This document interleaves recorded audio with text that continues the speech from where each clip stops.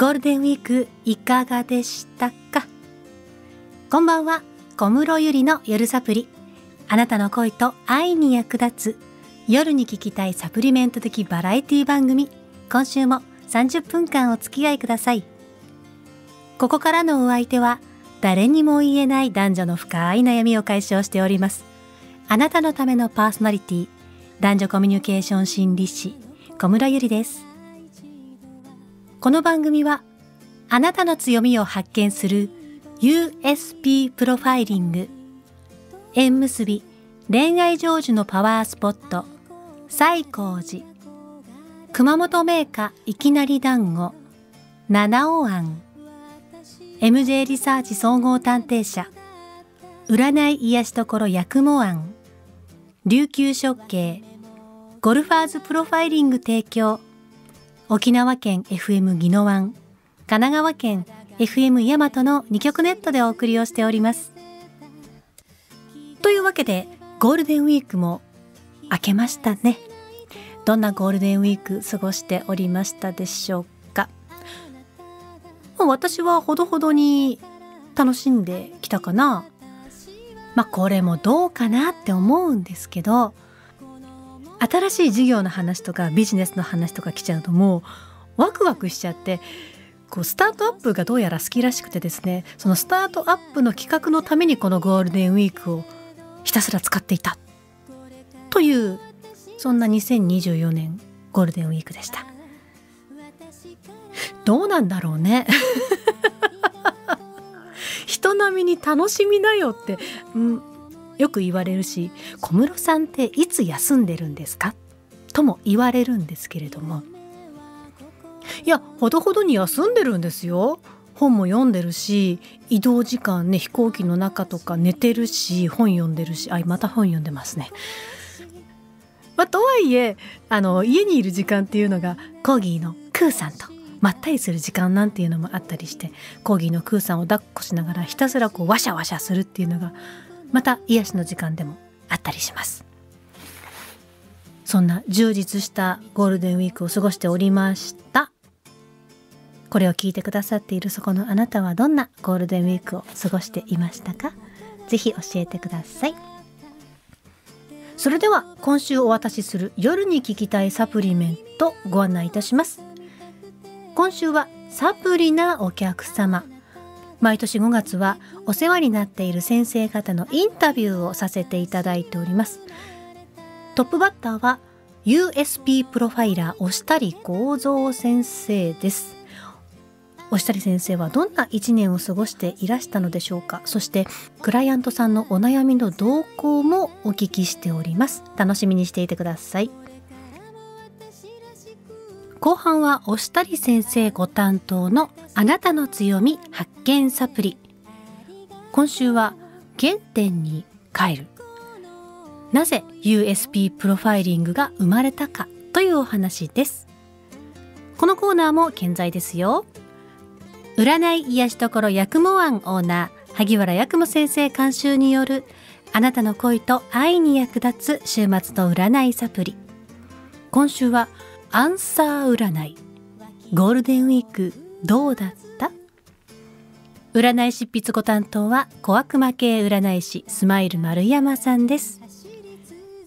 番組では皆さんからの応援メッセージお待ちしております。教えてゆり先生へのお悩み相談もそっと送っておいてください。メールアドレスは info アットマークフレンドビレッジ -c.com インフォメーションの info アットマーク友達のフレンド里のビレッジ -c.com です。メッセージお送りいただいた方の中から毎月1名様に七尾庵のいきなり団子プレゼントしております。メッセージには必ずご住所お名前お電話番号を明記の上送信してください。なお商品発送のご連絡は商品到着をもって返させていただきます。皆さんからの応援メッセージお待ちしております。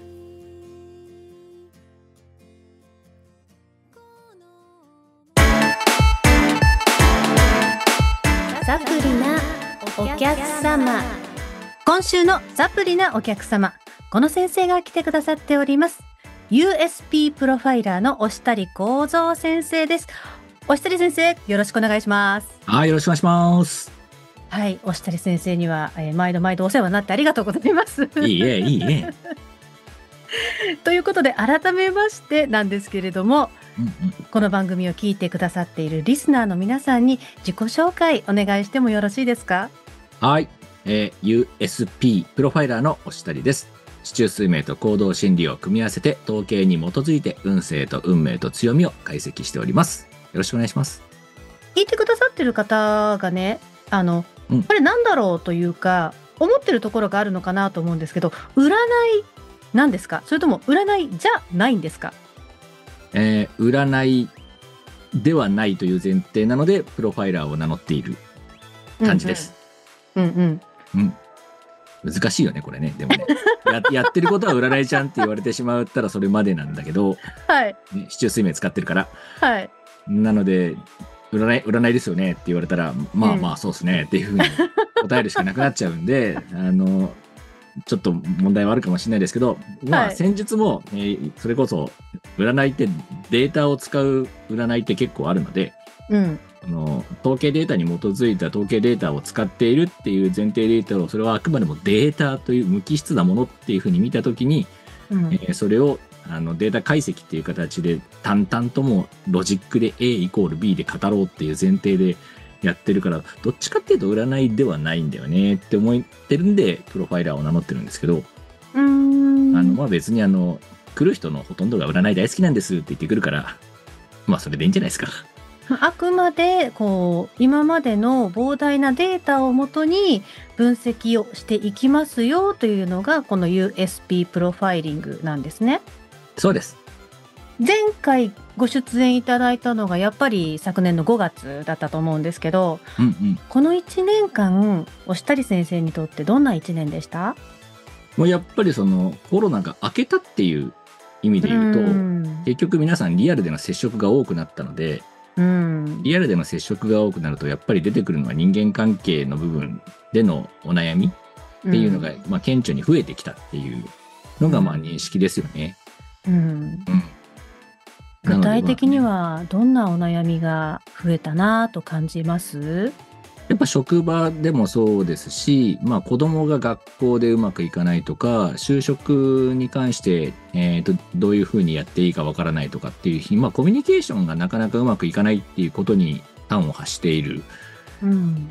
お悩みが多いかなっていう気がするんですけど。やっぱりこのコミュニケーション不和の一端にスマートフォンの影響ってあるよねなんていう記事も見たんですよ。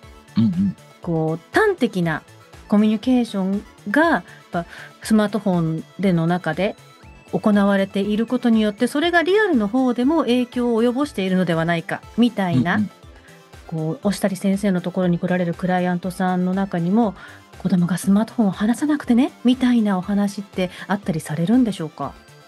でまあ一応これ適正の話にはなってしまうけどいわゆるそのコミュニケーションっていう言語化の適性で言うと文章化する適性と喋る適性が別なのではい。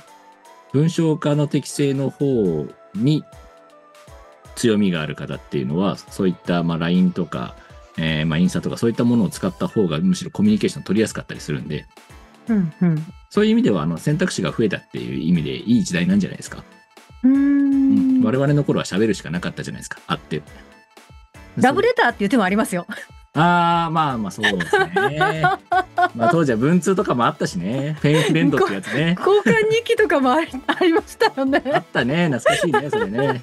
でも何を書いていいか分かんないから俺文章家の適性ねえんだなとか思いながらね。実際にご自身のこう名式を見てやっぱりその文章の差異はなかったんですか？ないです。そうなんだそうなんですね。直感的に降ってきたものをあの口八丁で八丁で言うスキルはむちゃくちゃ高かったけど、うん。それをいざ文章にするとなんかなんかこうまとまんない文章になるっていうか交換日記苦手だったな じゃあ、あの、文通とか交換日記に関してはちょっと残念な結果がまあそうですね あ。ったわけで。向こうが10行20行書いていくのにこっちは3行ぐらいで終わっちゃうみたいな。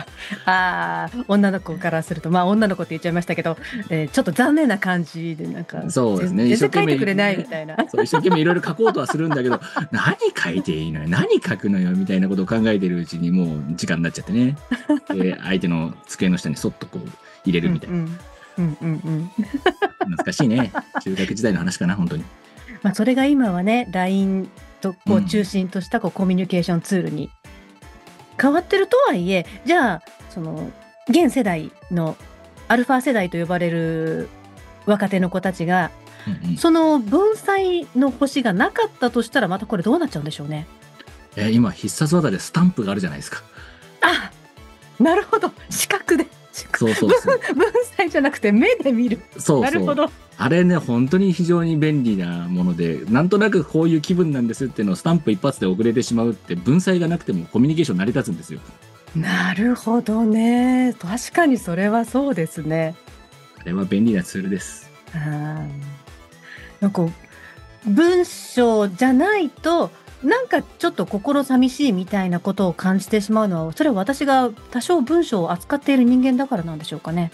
文章を読むと適性というか体制がある方は、やっぱり文章化された方がいいよねっていうのは間違いなくありますよね。そうですね。多少なんかその人の言葉とか心が文章に入ってないと、うん、次何を返そうかななんて考えながらうんうん。ご返信していることは私は多かったりしますけどね。うん。そして私はそこ苦手なんだよね。じゃあ、あの、ぜひオリジナルスタンプを作っていただいてですね、USB プロファイラースタンプでやり取りをするっていう。そうだそうだね。本当に。今ね、スタンプも簡単に作れますからね。それで自分のスタンプ作るしかないかな。さて、そんな押したり先生なんですけれども、はい。えー FM ぎのわんさんの方で毎週日曜日午前11時からオンエア中のゴルファーズプロファイリング、こちらも担当されていると。はい。こちらは、ね、プロゴルファーの石渡俊彦さんと一緒にやらせていただいてますけども。えっ、と、ゴルフに特化してお話をさせていただいてますけども、えー石渡さんがゴルフの、まあ、メソッドの話、で、私がその、えーゴルフに関するマインドの部分と USB プロファイリングの話をちょろっとして、で、毎週一人、あの、プロゴルファーをピックアップして、もう二人で好き勝手にああでもない、こうでもないって言っているっていう、まあ、本人からすると旗迷惑な解析番組ですね。プロゴルファーの方の名式を勝手に分析している。そうです。その石渡敏子さんはそのゴルフのそのスイングの解析、でうん。私がその人の性格の解析っていう2つの側面からその人を丸裸にするっていうのを本人に許可なく勝手にやっていくっていう。ご本人からちょっと待ったはかかってないんですか？まあそそれほど知名度がないので 本人に届いていないっていうのもあるんです。いつか届くといいですね。よ本当にだ逆になんか感想欲しいなと思って本人かはいはいはい。ら分かるとか言ってもらいたいなと思うんですけど。もうちょっと身近なところで、こんなような人たちに聞いていただけたら嬉しいなというところはありますか？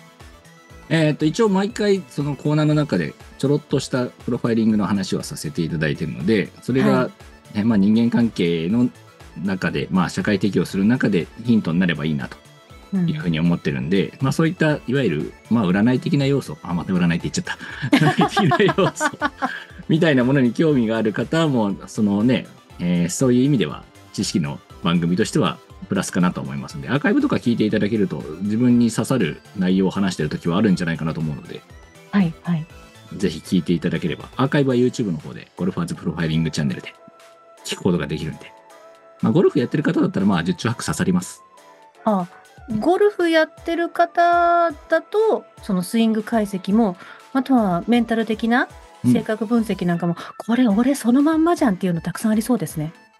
絶対出てくると思いますし。まあそれよりもまあ一番初めのコーナーが石渡さんのそのゴルフ理論の解説。この部分だけでもあの聞いてるだけでスコア伸びるはずなんで、うー。うんん。非常にいい番組ですよ夜サプリを聞いてくださっているファンゴルファーの方にもぜひ聞いていただきたい番組ですね。そうですね。ぜひはい。一度、一度でいい。一度でいい聞いてください。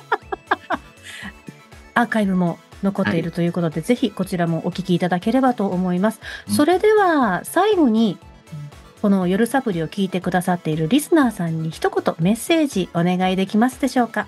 はい、えー特にね、コロナ明けでいろんな人と会う機会っていうのは増えてきたと思いますけど、当然自分に合う人合わない人っていうのは絶対的にいるので、その中から出てくる、まあ、人間関係のお悩み等あった場合、自分の中で溜め込まずに、ぜひ私みたいなところの、まあ、悩みを聞きやすい方、私とか小熊さんとかそうだと思いますけど、えーそういった方々オープンチャンネルにしているところが結構いっぱいあるので、そこに来ていただいてお話をしていただけたらいいなというふうに思ってますので、そのきっかけになればいいなと思って番組やらせていただいております。よろしくお願いします。はい、ありがとうございました。ということでですね、今週はこの後、押したり構造先生のコーナー、あなたの強み発見サプリへと続いて参ります。前半コーナーは、サプリなお客様。ゲストは USP プロファイラー、押したり構造先生でした。ありがとうございました。はい、ありがとうございました。もっと探偵を身近に安心と信頼の探偵事務所 MJ リサーチ。浮気調査から人探しまでベテラン探偵の高い調査力をあなたに。詳しくは MJ リサーチで検索。または MJ リサーチ公式 YouTube からお願いします。沖縄初のブランド地鶏福行地鶏8ヶ月の時間をかけ大切に育てています。沖縄の自然の恵みをあなたへインターネット検索は福行地鶏あなたの生きにくさは変えられます市中水明合同心理学 USP コンサルティングを合わせたカウンセリング。プロファイラーをしたりがあなたの生きにくさを解消します。USP プロファイリングで検索。縁結び恋愛成就のパワースポット西光寺。境内を覆う大楠と凪の木は恋愛成就と縁結びのパワーを持つと言われご利益を求めて県内外から参拝に訪れておられます。徳川家ゆかりの文化祭の宝庫静岡県磐田市西光寺。USP プロファイラーの押谷幸三とゴルファーズプロフェッサーの石渡俊彦がお送りするゴルファーズプロファイリング。この番組はゴルファーに自分らしく一生涯ゴルフを楽しんでいただくためのサポートを目的としたプロファイリング番組です毎週日曜 AM11 時から FM ぎのわんで放送中ですお聞きください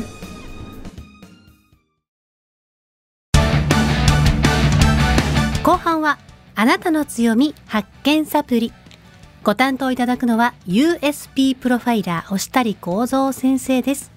それでは押したり先生よろしくお願いします。あなたの強み、発見サプリ、USP プロファイラーのおしたりです。行動心理と四柱推命を組み合わせた統計と分析で、あなたの運命と運勢と強みを鑑定しています。USP とは、 Unique Selling Proposition の略で他のものにはない強みを言います。本日は、今更ながら、USP プロファイリングが何で生まれたのかというお話です。占い術師の方いますよね。私、占い好きなんです。いろんな人に見てもらってます。みたいな。主に2種類に分かれると思います。純粋に興味があっていろいろと経験したいという知りたがり屋さん系と、自分の悩みを誰でもいいから答えを出してっていう迷える子羊さん系ですね。前者の方は知的欲求から来るものなので仕方ないにしても、後者の方にとっていい占い師ってどういう人を言うんだろうと考えたわけですよ。で、ふと思ったんですね。同じ戦術を使って同じ人を鑑定しているのに、なんでみんな違う鑑定結果が出てくるの？と。まあ、そんでもって自分でやり始めてみたら分かったわけです。これ、とてつもないビッグデータ使ってんなと。市中睡眠を生きているうちに完璧に習得できる人って多分いないんじゃないかなと。この学問を追求したとしたら、何回か転生が必要ですね。転生したらまた鑑定士だった件みたいなほど時間が必要。これだけのビッグデータの中からピックアップした情報をランダムに相手に伝えていたら20人いたら20通りの答えが出てきちゃいますよね。で、そこでさらに考えたわけです。今必要な情報だけを適切にピックアップして相手に適切に伝えられればいいんじゃね？そこで今を見るために行動心理の理念を取り入れてみました。そしたら見えてきたわけです。今目の前にいる人が求めている答えを導き出すための最短ルートというやつが。しかもヒアリングなしで共感、共有までできる。何も言わずに全てを理解してくれる人になれるという学問。そう、学問です。だから教えることもできます。今、3期生募集中。あ、宣伝しちゃった。この理論を使うと USP プロファイラーなら誰でも今目の前にいる人が欲しい答えを全員同じ回答で提供できます。ではよく聞かれるんですが、当たるんですか？と。このね、占いって当たるんですか問題。個人的には私はこう定義してます。鑑定前より鑑定後の方がその人が少しでも前向きになれている、そんな後押しをするパワーワード、言霊を与えられた人が、その人にとっての当たる占い師となるのではないかと。私が一番印象に残っている鑑定は、イベントの時にふらっと来てくれた80過ぎのおばちゃんです。鑑定後に涙を流していただきまして、初めて自分で自分を認めてあげられるようありがとうって言ってくれました。思わずね、私ももらい泣きしちゃいました。鑑定士冥利に尽きる瞬間ですね。当たる占い師になれたかな占いではなく、プロファイリングなんですけどね。もちろん小室さんも言霊を扱うスペシャリストの一人です。多少ぶった切りも入りますが、雨と無知の言霊使いとでも言うんですかね。というわけで本日はここまで。あなたの強み発見サプリ。提供は USP プロファイラーのおしたりがお送りいたしました。それではまた。押したり先生、ありがとうございました。あなたの強みを引き出す USP コンサルト。四柱推命、行動心理学を用いたプロファイリングで生きるのがもっと楽になります。お問い合わせはインターネット検索 USP プロファイリングでお願いいたします。また、押したり構造先生とプロゴルファーの石渡俊彦さんのラジオ番組ゴルファーズプロファイリングが FM ぎのわんにて毎週日曜日午前11時からオンエア中です。ファンゴルファーのあなたはぜひ聞いてくださいね。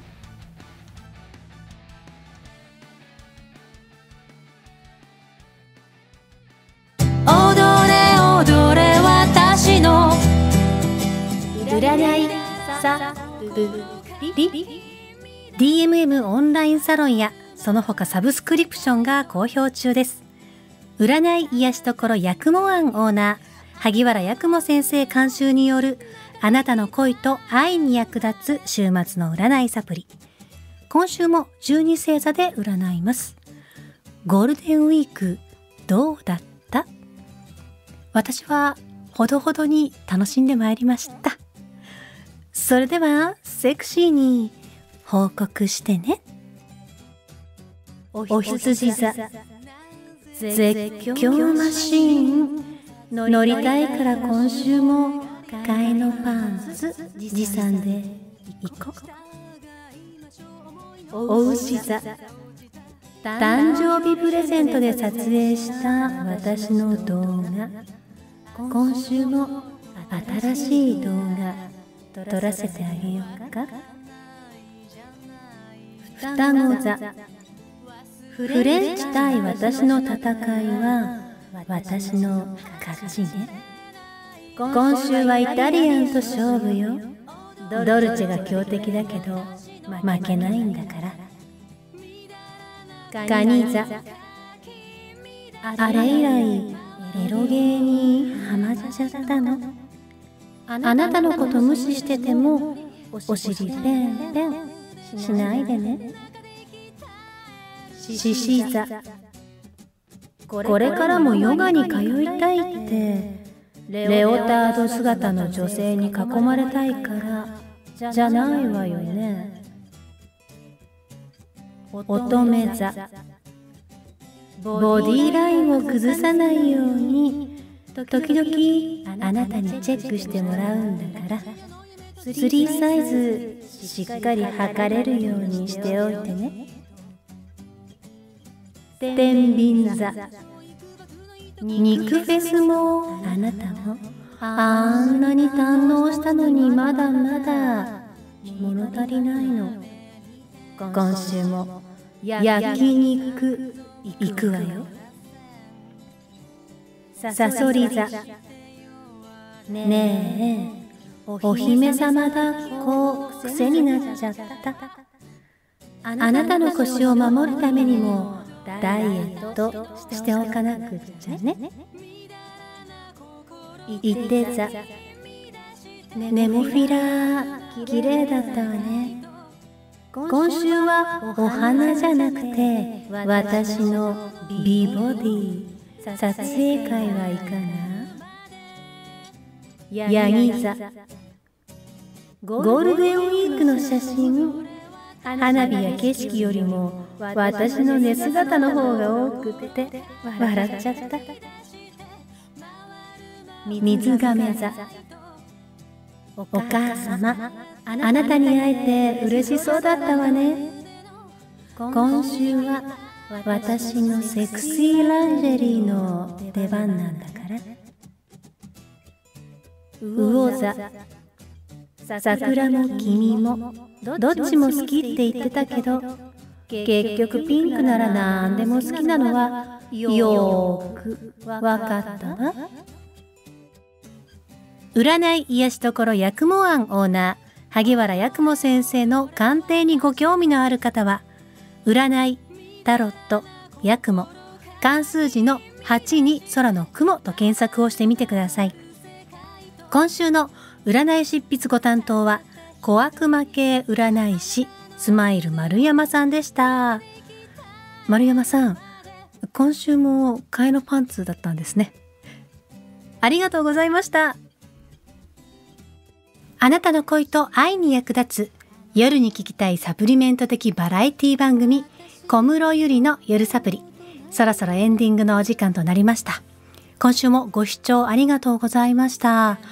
来週2週目ですのでこの先生というかこの探偵さんのウィークとなります。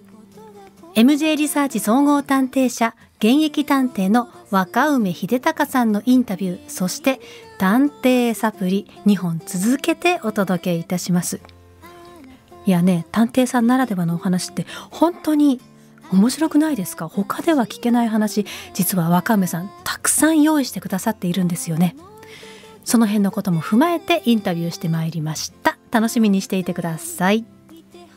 そしてこの番組はもう聞いてくれているよね。土曜の朝の始まりラジオキッス FM 神戸 BNI 神戸東 presents エキスパートボイス。毎週土曜日の朝7時から10分間マーケティングチーム BNI 神戸東のメンバーをゲストにお迎えしてエキスパートなビジネスのお話を伺っております。おかげさまで3年目を走っているこの番組。ブログの方もぜひご笑覧ください。最後にあなたにお渡しする夜に聞きたいサプリメント。恋の名言はこちらです。恋愛は戦争のようなものである。始めるのは簡単だがやめるのは困難である。アメリカの作曲家アラン・メンケンの名言です。本当にやめる時って大変ですよね。ですがやめる勇気を持つということもまた恋愛においては学びなんだと思います。来週もあなたが元気になれる夜サプリ用意して待っています。忘れずに取りに来てくださいね。